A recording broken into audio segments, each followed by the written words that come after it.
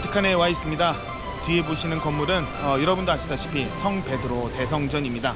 어, 갑작스럽게 여기 오게 되었습니다. 원래 제가 떼제 있었는데 한 열흘 정도 푹 쉬고 촬영도 안 하고 있다가 여기서 아주 한국 교회에 아주 의미 있는 어, 행사를 한다는 소식을 듣고 어, 갑작스럽게 오게 되었어요. 어떤 의미 있는 행사냐?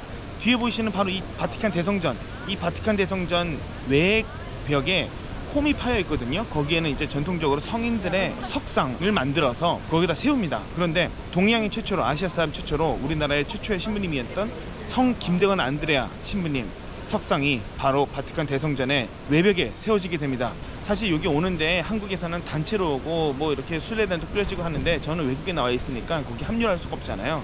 어, 그런데도 다행히 어, 개인의 자격으로 또 촬영을 할 수 있도록 어, 교황청 성직자부의 유일한 한국인 추경님이신 어, 또 최초의 추경님이신 한국인 추경님이신 이용식 추경님께서 배려를 해주셔가지고 오게 됐습니다. 아 너무 감사드리죠.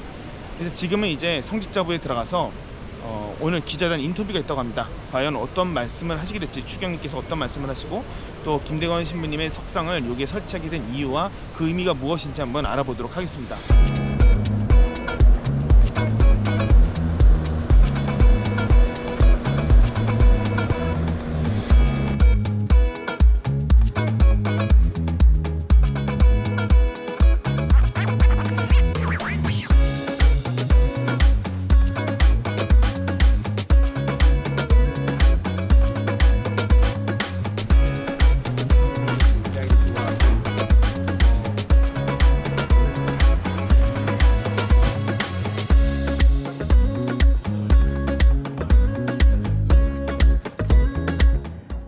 한국은 굉장히 젊은 교회다 라는 얘기를 많이 듣고 굉장히 희망찬 교회다 라는 얘기를 많이 들었습니다. 근데 어, 현실을 보면은 교회를 떠나는 청년들이 굉장히 많고 또 교회에 머물고 싶지만 어, 어떤 역할로 교회 안에서 머물 수 있을지에 대한 고민을 하고 있는 청년들이 굉장히 많이 있거든요. 그런 면에서 어, 성베드로 성당을 딱 왔을 때 많은 청년들이 우리나라 청년들뿐만 아니라 어, 김대원 신부님의 삶과 어떤 영성을 통해서 어떻게 교회 안에서 청년들이 다시 되돌아오고 또 교회 안에서 어떤 역할을 청년들이 할 수 있을지 추경님의 생각이 궁금합니다. 어디 써먹을 거면 이제 궁리하거든요. 누가 나를 이용하려고 그러면 뭐 이용 당하기도 하지만 기분 별로 안 좋아요. 그렇잖아요. 그 대신 정말 누가 나를 반갑게 맞아주고 좋아하고 그러면은 나도 무언가 좀 봉사할 수 있을까, 기여할 수 있을 거라고 생각하게 되거든요. 그렇다면은 한국에서 그 근본에서부터 조금 바꿔야 되고 또 하나는 2018년에 세계 주교 신호도가 젊은이를 주제로 했었죠. 그때 제가 참석했 그때 어느 주교님이 그랬어요. 언제 젊은이들이 교회를 떠났냐? 교회가 젊은이들을 떠났지. 보는 관점에서 그래, 그렇다면 정말 그들은 우리가 교회 미래라고 말하지 말고 현재도 돼요. 물론 미래도 되고. 그럼 어떻게 그들이 교회 안에서 살 수 있는지 시간도 공간도 어떤 때는 재물도 물질 등등 해서 이걸 좀 더 많이 젊은이답게 길을 피고 좀 살 수 있도록 도와줘야 되거든요. 이제 김대건 신부는 더 이상 한국 김대건 신부가 아니라 전 세계 김대건 신부로서 가톨릭 교회에서도 베드로 대성당이 중심인 지역에 그 상이 우뚝 그 섬으로서 좀 가톨릭교 전체의 김대건 시민이고 가톨릭교 전체가 다 김대건 신부의 그 젊은 모습을 보고 희망을 갖고 용기를 가지고 나아갈 수 있도록 하는 그런 굉장히 중요한 그런 의미가 있다고 저는 하여튼 받아들이고 이 면에서는 똑같은 생각을 가지고 있습니다.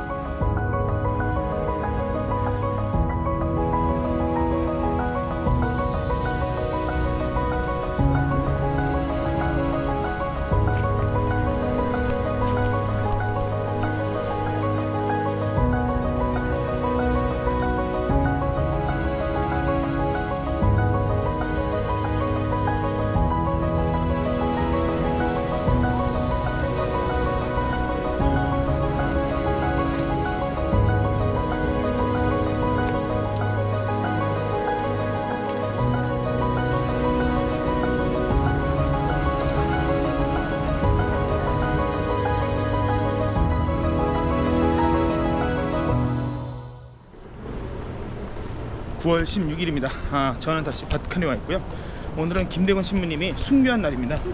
그래서 오늘 같은 날에 어, 제가 말씀드린 것처럼 성 김대건 신부님의 성상이 어, 바티칸 성 베드로 대성전에 세워집니다.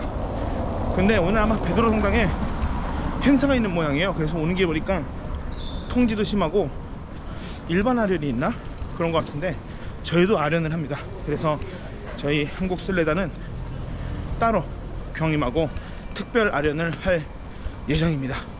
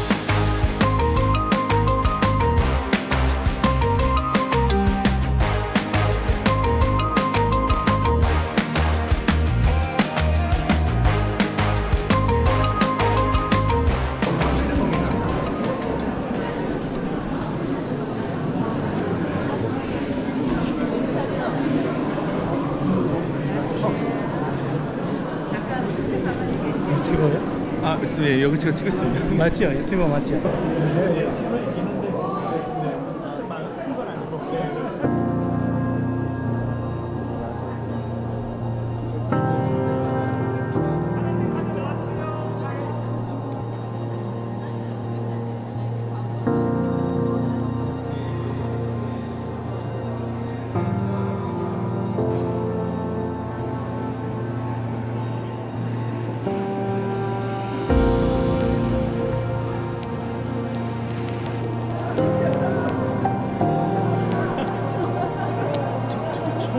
들어와 봤어?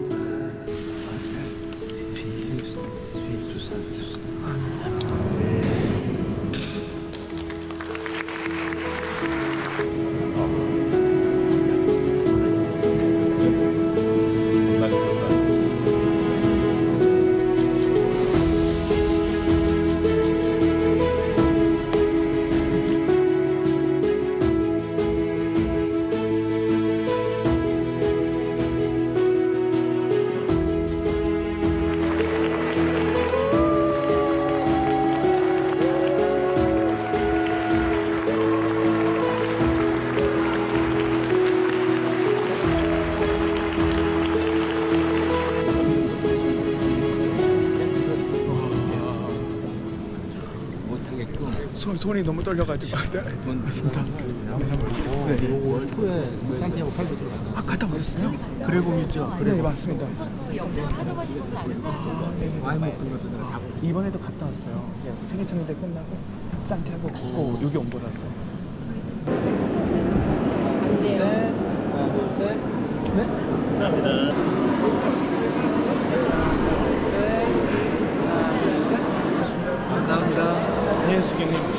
세계청일대 때아 그렇죠. 인터뷰했을 때. 네. 그렇죠. 특별한 데에서 특별한 분들 만나니까.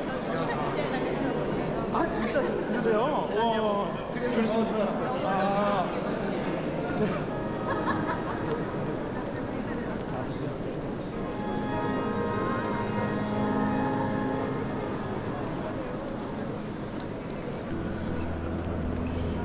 성베드로 성당은 와, 언제 와도 익숙하지 않고 언제 와도 와, 감탄밖에 안 나와요. 정말 대단한 성당이에요. 와,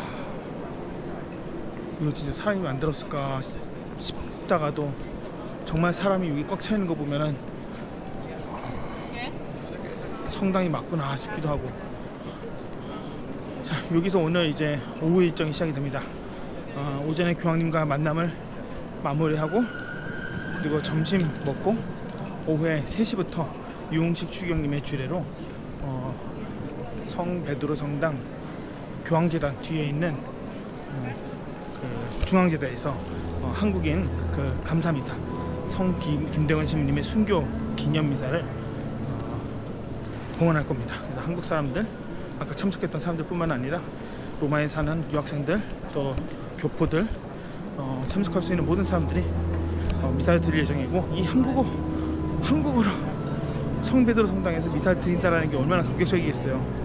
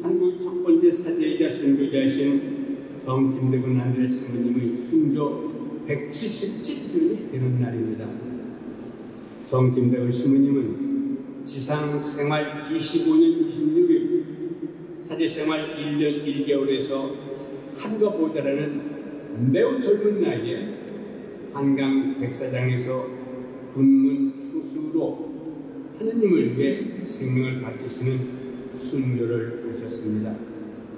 그분이 순교하신 당일 바로 천상탄신일을 기념하며 성상을 봉헌한 일은 저희가 처음 겪는 역사적인 사건입니다.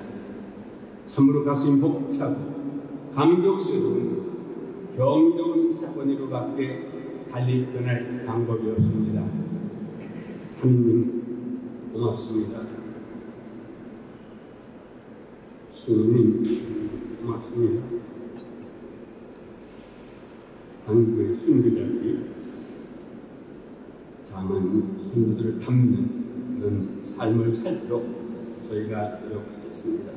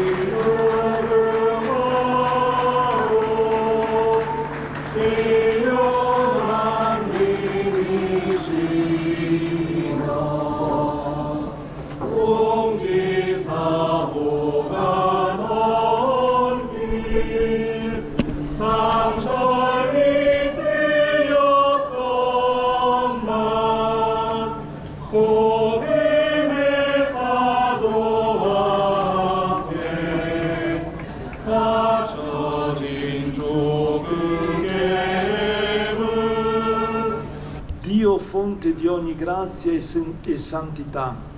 Guarda con amore i tuoi fedeli che hanno preparato questa statua di Sant'Andrea Kim Tegon, sacerdote e martire, amico ed erede di Cristo, fede- fedele testimone del Vangelo.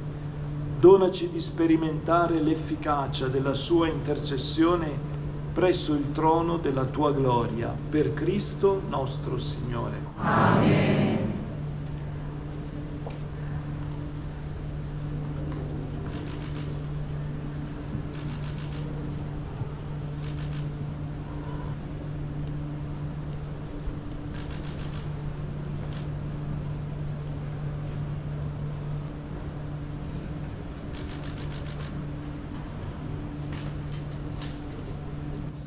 Nell'altro livello delle nicchie, che sono più grandi, sono più basse però, ci sono le statue dei fondatori degli ordini religiosi, fondatori di comunità, rappresentano delle comunità religiose.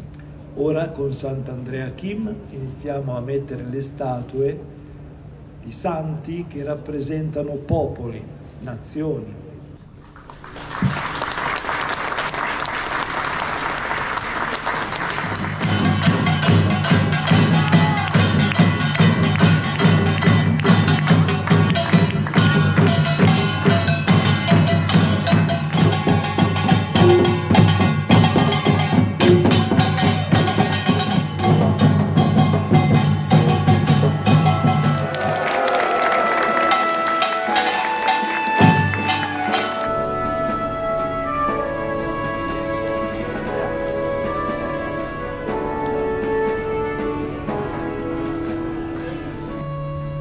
김대훈 신부님 성상이 이렇게 25살의 청년 이 애뜬 얼굴에 김대훈 신부님의 성상이 여기에 세워진다라는 게 말이 됩니까 진짜 제 뒤에 있지만 정말 믿길 수가 없- 없어요. 너무 감동적입니다. 하, 김대훈 신부님 성상을 보고 많은 사람들이 김대훈 신부님의 용기 그 당시 어려움을 뚫고 나가, 나가면서 복음을 전파하려고 했던 그 열정 그런 것들을 좀 많이 닮아갔으면 좋겠습니다. 요즘 살아가면서 제 또래 또 우리 많은 청년들이 어, 물론 이 청년들뿐만 아니라 많은 사람들이 용기를 잃고 희망을 잃고 세상이 원하는 대로 살아갔잖아요. 근데 김동현 주부님은 그 당시에 그렇게 살지 않았다라는 거예요. 자기가 어, 생각하는 그 진리, 믿는 진리가 있다면은 그 끝까지 쫓아가서 자기 목숨을 버리면서까지 그 신의를 지켰다라는 거, 믿음을 지켰다라는 거. 어, 그런 면에서 김대근 신부님의 그 청년 김대근 신부님의 어, 그런 모습들이 어, 높게 평가되어서 여기에 설치되어 있지 않았나 싶은 생각이 듭니다. 한국 사람들뿐만 아니라 정말 많은 청년들이나 많은 전 세계 많은 사람들이 어, 김대현 신부님 보고 한국을 생각하는 걸 뛰어넘어서 이분의 진짜 큰 열정을 받았으면 좋겠습니다.